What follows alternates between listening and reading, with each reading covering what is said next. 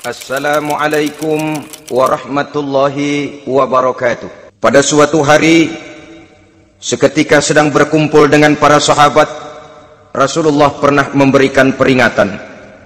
Beliau bersabda, "Yushiku an tada'a alaikumul umamu kama tada'al akalatu ala qas'atiha." Pada suatu saat nanti akan datang di tengah-tengah kamu wahai umat Islam di mana orang-orang lain di sekeliling kamu akan bersatu mengerubungi kamu seperti bersatunya orang-orang mengerubungi makanan di atas meja hidangan. Akan datang satu saat nanti di mana kondisimu dikepung sedemikian rupa, yang barat mau menerkam, yang timur mau menghantam, yang selatan mau menginjak-injak, yang utara pun akan menjelajah. Kondisimu seperti makanan di atas meja hidangan. Sebagian sahabat merasa heran dan terkejut, lalu mereka bertanya, "Amin killati nahnu yauma izin ya Rasulullah?" Apakah jumlah kami pada waktu itu sedikit ya Rasul? Kami sampai dikepung sedemikian rupa? Beliau menjawab, "Bal antum yauma izin kathir." Sama sekali tidak. Kamu tidak sedikit pada saat itu. Bahkan jumlahmu sangat banyak. Kamu adalah mayoritas walakinnakum ghusa'un ka ghusa'is sail. Tetapi keadaanmu saat itu persis seperti buih di lautan. Banyak tetapi centang perenang banyak tetapi tidak punya daya dan kekuatan. Banyak tapi dipermainkan gelombang lautan dihempaskan ke tepian pantai tanpa punya makna dan arti. Kondisimu pada saat itu kuantitas yang tanpa kualitas. Sehingga orang lain enak saja mengepung kamu. Akidahmu didangkalkan dibanjiri dengan peradaban dan kebudayaan yang menjauhkan dari agama dari segi maksiat dan munkarat seluruhnya mengepung sampai kita melepaskan nilai-nilai Islam kita ini. Dan celakanya sambung beliau wal yanzi'anna fi qulubi aduwikumul mahabata minkum. Akan dicabut kehebatanmu di mata musuh-musuhmu.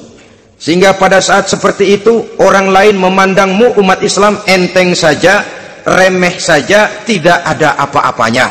Sudahlah pokoknya umat Islam sikat saja. Umat Islam enteng umat Islam kecil umat Islam tidak ada apa-apanya. Alangkah ironinya alangkah menyedihkannya memilukan dan sekaligus memalukan. Umat yang mayoritas ini dipermainkan oleh yang minoritas. Umat yang jumlahnya terbesar terbanyak bahkan konon menurut catatan sampai 90% tapi dipermainkan oleh mereka kelompok-kelompok kecil ini. Waliyan waliyakzifanna fi qulubikumul wahn pada saat itu di hatimu dicampakkanlah penyakit wahan. Sahabat kemudian bertanya wa mal wahnu ya Rasulullah? Apakah penyakit wahan itu ya Rasul? Beliau menjawab hubbud dunya wa karahiyatul maut.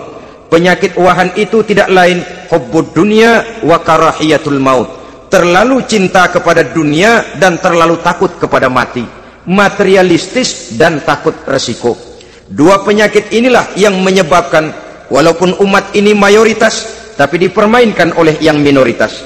Walaupun dia golongan terbesar tapi nasibnya seperti makanan di atas meja makan. Dari segala macam penjuru mau menghantam dia.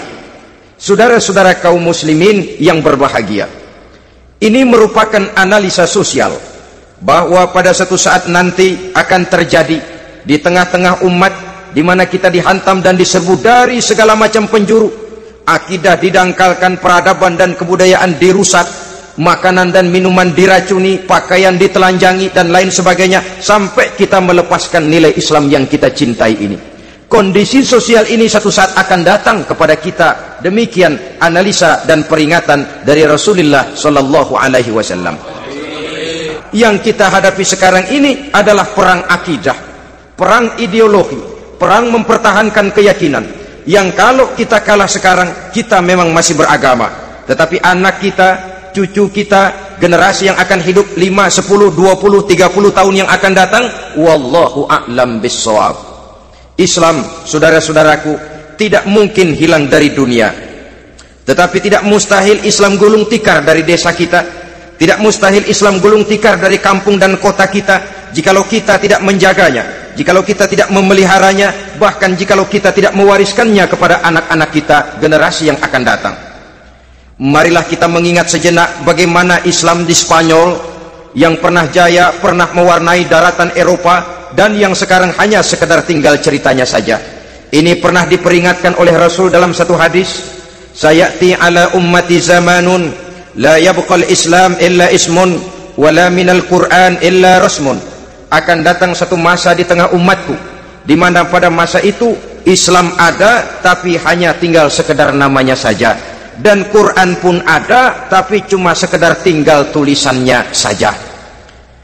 Apabila kita tidak mewariskan ini kepada generasi yang akan datang maka serbuan-serbuan dari berbagai macam penjuru dari hari ke hari semakin kita rasakan kehebatannya tidak mustahil sejarah Spanyol akan terjadi di desa kita akan terjadi di kampung kita akan terjadi di kota kita.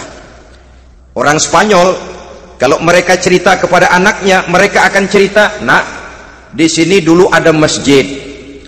Kapan pak? Dulu. Dulu benar dah. Banyak orang Islam kalau hari Jumat pada sembahyang kapan itu pak? Dulu. Dulu sekali. Sekarang? Sekarang cuma sekedar tinggal ceritanya saja bukankah sesuatu yang sangat tidak mustahil? Apabila kita tidak menjaga dan mewariskan Islam ini kepada generasi yang akan datang maka serbuan-serbuan akan membawakan hasil yang diinginkan oleh para penyerbu itu tadi. Kita sudah menjadi umat yang mayoritas. Tetapi umat yang mayoritas ini menurut Rasul dikepung sedemikian rupa. Akidahnya didangkalkan peradaban dan kebudayaannya ditekan sedemikian rupa kehidupan sosialnya dibuat individualis. Kemudian dari segi pergaulan pakaian, makanan, minuman dan sebagainya diracuni sampai dia tidak lagi berpegang teguh kepada agamanya. Dan dikala itu hilang kehebatan umat ini di mata musuh-musuhnya. Orang lain memandang kita ringan saja enteng saja satu umat yang sudah kehilangan wibawa. Padahal konon kabarnya kita mayoritas tapi enak saja dikutak-kutik orang lain. Dan dikala itu di hati kita merajalela penyakit uahan penyakit uahan itu apa? pertama hubbud dunia. Terlalu cinta kepada dunia. Terlalu cinta kepada dunia yang menyebabkan kita lupa. Lupa akan tanggung jawab dan kewajiban. Lupa meneruskan dan mewariskan Islam kepada generasi yang akan datang. Kita berlomba, berlomba dan berlomba hanya untuk mengejar dunia dan seluruh isinya.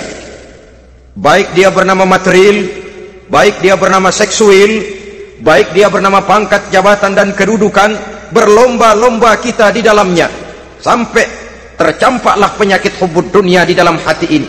Berurat dan berakar dunia itu sulit dan berat kita berpisah daripadanya. Akibatnya kemauan untuk berbuat demi dan atas nama agama sangat sulit terwujud di dalam kehidupan ini. Yang kedua karohiyatul maut terlalu takut kepada mati. Baik mati ajal mati dalam artian yang sebenarnya baik mati usahanya baik mati karirnya baik mati pangkat dan jabatannya. Sehingga dengan demikian akibatnya jatuhlah kita menjadi umat yang kehilangan wibawa di mata orang lain